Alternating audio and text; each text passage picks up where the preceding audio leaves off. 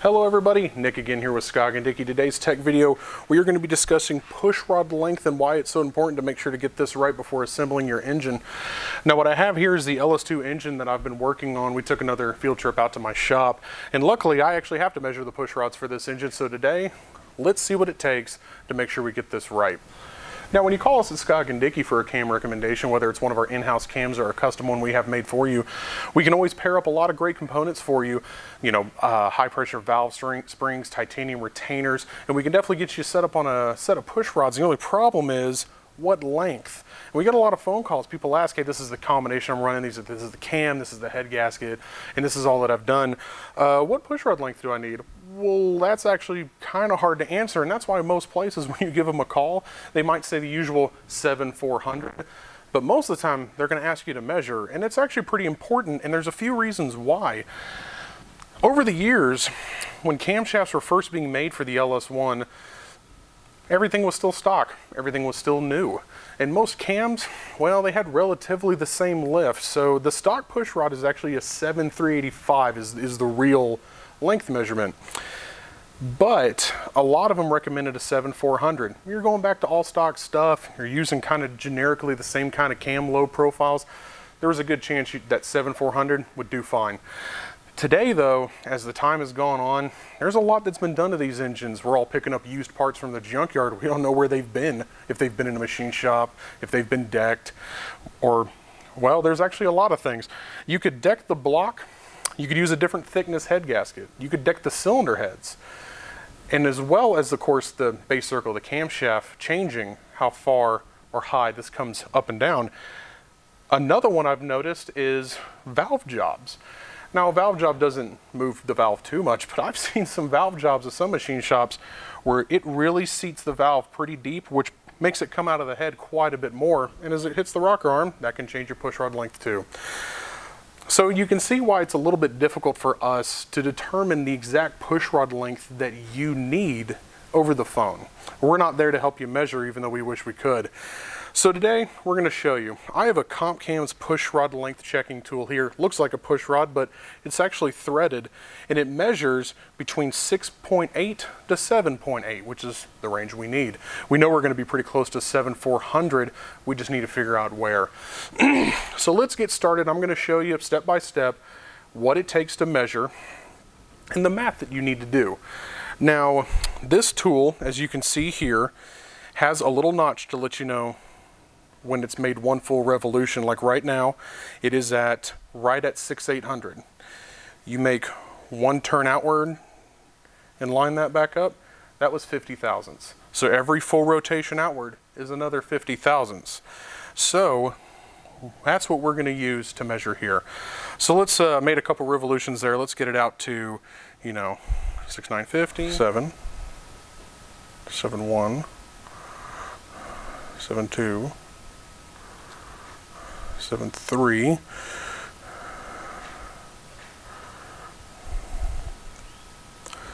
So what I've done here is I've rotated this out to about 7300.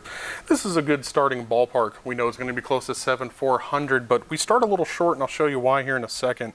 The next step that you need to do is to rotate that the camshaft around so where it's on the base circle. So the lifter is riding on the smaller part of the camshaft. And I'm going to show you how to do that here. I'm actually going to put the tool in the push rod hole for a moment. And I'm going to put my finger holding it down. And I'm going to take a socket wrench. I'm going to turn the engine over a few revolutions. And here's what you're feeling for. Turn it clockwise here. We are feeling for when the cam pushes this push rod up because that's where we know where we don't need to be. So let's get a couple revolutions here. Oh, there we are. And it feels like, yep, I'm right about the peak there. So I know that if I do one full revolution, I am at the base circle. The camshaft spins half as much as the crankshaft. So I know I got 180 degrees to the other side of the cam. Now that we know whether we're on base circle, we can go on to the next step. The next step would be to take your rocker arm with your socket. The factory bolts are 8 millimeters. Some of the aftermarket ones use uh, like an Allen key or something like that. So of course make sure you have the right tools. Make sure you're using the rocker arm that you're going to be using. If you use an aftermarket rocker arm, don't check your pushrod length within a stock rocker. that'll mess up your readings. For the same reason, I've already assembled this engine with the gaskets, head bolts have been torqued down, it's almost ready to go. You need to do the same thing. It's not really a place you want to have some guesswork. So we're going to take this rocker arm, we're going to put it here on the intake side, and we're going to tighten this in by hand. I got a little little tool here to help me spin it faster for you. We're going to spin this all the way down. We're going to make sure it's just finger tight. And what we're looking for is zero lash.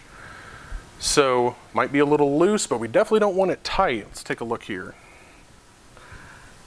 Geez, that actually looked like I might have gotten a little too close on the first try. There's not very much wiggle room in here. So let's back it off and try again. There's a lot of trial and error with this procedure, so have a little bit of patience. It'll pay off in the long run. So we backed it off again, take it off.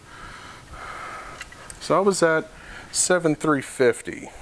Also be careful when handling this tool. All these tools are about the same. This is a Comp Cams one I have. These are actually uh, really great. I believe the part number is a 7702-1 if you want to get on our website and order one. Um, but they are very sensitive. They can twist. So be careful when you start taking your measurements. Pull it out carefully, reinstall it carefully. But let's turn it right back. Let's turn one more. Let's go 50 thousandths shorter. Because I think that 7350 was actually really close. Make sure it's seated in there well. Let's put the rocker arm back on. Again, you want this to be nice and hand snug. You don't want to torque this down. It's not exactly necessary just yet. Let's see here. Ah, there we go. There's a, man, 7300. See, that's pretty amazing. I am using a Cometic 40 thousandths gasket. It's about 11 thou shorter, so that adds up. I'm also using a brand new block, so I'm kind of surprised to find it that short, but what I will say is I know these cylinder heads have been remanned, so like I said before, if I would have ordered some 7400 push rods, I kind of might have gone a little too long here. But that's about right. The other thing you have to factor in here is lifter preload. You're not setting this to zero lash. You're actually setting a little bit of preload. There's a plunger in that lifter. The LS7 lifter, for instance, the one that's the most common, it has about 200 thou of travel. It's quite a bit. And I believe the spec on it is somewhere between 30 to 60,000. Some people say 50 to 100,000. So I kind of aim somewhere 50, 70, somewhere in that ballpark. You have a lot of playroom here, which is pretty forgiving. so that's another thing to remember. Now, 7300 was a little loose. 7350 was too tight. So let's go right in the middle. Let's take this back out. Let's do a half turn. Put it right about there. It's kind of hard to see half on this because of the marks. Put it in carefully and do it one more time. Kind of like what I was saying. This is a tedious process. There's a lot of patience required when doing this because you're constantly threading a rocker back in, pulling it back out, making measurements. Don't forget a notepad and a pen too. Sometimes you have to write this stuff down or you're going to do it a bunch. I'm sure like some of y'all, I wasn't that great at math, so I can't keep a whole lot of numbers in my head at one time. Let's take a look. Nice and hand snug here. That's good. Oh, that's almost perfect. That's almost perfect. So now that we know that we're right on it, let's pull this back out. Now we can make note where our notches were and count backwards as we thread it back towards the base. Remember, when this is shortened all the way up, it's 6 800. So we got one full turn, two full turns, three full turns, four, five, six, seven, eight, nine, and 10 right on the nose. 10 exact full turns. So what is that? Right at half an inch. So 7300 is where we're at. But don't buy 7.3 push rods just yet. You'll get it wrong. Lifter preload like I was saying earlier. Now, I could go 7350, 7375. I could do 7400. Remember, it's a wide range.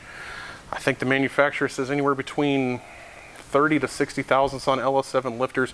Most shops that put these together and the experience that we've had, actually about 50 thousandths to right at 100 thou is actually a good preload as well. It's 200 thousandths total is what that plunger will move inside that lifter. So you got a lot of wiggle room here. It's pretty forgiving. Um, so yeah, I can actually pick a 7350 or a 7400, but I'm not exactly done.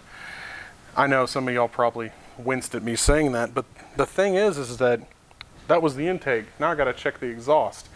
As well as I also like to check the corners of each of them. I have had it where the cylinder head wasn't machined straight, and that can be kind of a nightmare too, is when you find out that one side needs 7450, the other side needs 7300, and even worse, the other side needs a completely different length.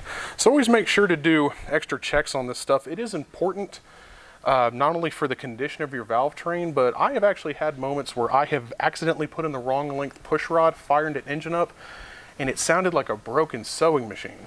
And there's nothing worse than building an engine and putting it in your project car, and the very first thing you hear when you fire up is tapping.